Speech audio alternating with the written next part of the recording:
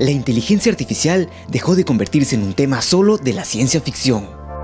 La IA ya es parte de nuestra vida cotidiana, una revolución que evoluciona a pasos agigantados con un potencial que parece ilimitado. Ante esto, ¿es necesario regular la inteligencia artificial? ¿Qué se puede dejar hacer a la IA? ¿Hasta qué medidas se le, se va, se le va a dar autoridad, entre comillas? ¿no? ¿En, qué, ¿En, qué, medida va a ser autónoma versus en qué medida va a tener que ser subordinada al humano? ¿No? Y la distinción de responsabilidades, por ejemplo. ¿no? Es importante hacer una distinción de responsabilidades. Por ejemplo, en un accidente con autos autónomos, ¿quién tiene la responsabilidad? El dueño, bueno, el dueño no manejaba, estaba manejando el software, el carro. ¿Quién es dueño? ¿Que le vendió el, el auto? ¿Quién es responsable civil y penal? ¿no? De repente penal es uno y civil es otro, pero esas son discusiones, ¿no? Sin regulación, podríamos estar frente a nuevas problemáticas a nivel local y global.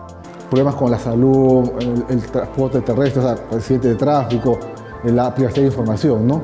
Hay tecnologías de IA que me permiten detectar el autor de un correo anónimo, identificando el estilo de escritura. ¿Qué implicaría que de repente una fuente un periodista, un testigo protegido, pues identificado por una IA? Si no se regula, vamos a quedar pues básicamente uh, en un escenario jurídico incierto. Ya es imposible ganarle a la computadora en ajedrez. Entonces, ¿qué consecuencias podría traer dejar las decisiones militares en manos de la inteligencia artificial?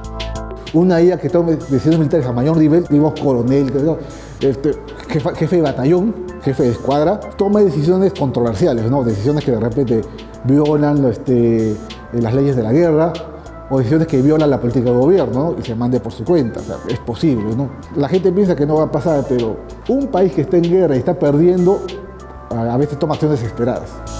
A decir de los entendidos, crear leyes que regulen la inteligencia artificial es un trabajo que debe cubrir diferentes áreas. Deberían trabajar juntos legisladores, políticos y los expertos tecnológicos en IA, que pueden salir de universidades o de los gremios profesionales, ¿no? para que estas leyes, estas regulaciones sean más eh, justas, más correctas y sobre todo que sean regulaciones que se puedan llevar a cabo en la vida real, que no queden en el papel, no, no queden buenas intenciones. No va a ser una ley que no se puede fiscalizar después. Una ley que busque regular la inteligencia artificial debe comenzar preocupándose por el ciudadano. Lo primero, como dije, proteger al ciudadano de a pie en sus necesidades diarias, ¿no? salud, seguridad en el transporte, de este, ¿no? derecho a la privacidad de datos, derecho a, a la información veraz, o sea, evitar los fake news. ¿no?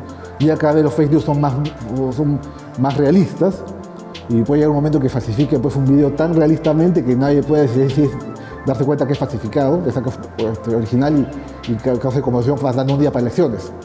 Regular y fiscalizar una tecnología que está en constante evolución es un reto esencial para una convivencia segura y ética.